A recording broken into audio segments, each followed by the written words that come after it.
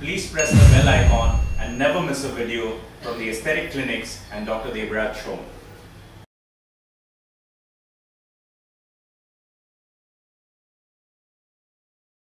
नमस्कार, मेरा नाम है डॉक्टर देवराज शोम और मैं द एस्थेटिक क्लिनिक्स नामक संस्था का डायरेक्टर हूँ। द एस्थेटिक क्लिनिक्स के अभी हिंदुस्तान के काफ़ी शहरों में सेंटर्स हैं तो आप हमसे काफ़ी शहरों में संपर्क कर सकते हैं आज मैं आपसे बात करने वाला हूँ डबल चिन के विषय में। डबल चिन मतलब यहाँ जो आपकी नेक है, वहाँ से जो चमड़ी लटकने लगती है, उसको डबल चिन कहा जाता है।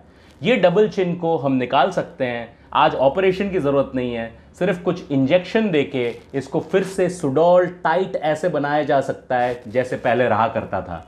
तो क्या आप अपने डबल चिन को कम करना चाहते हैं?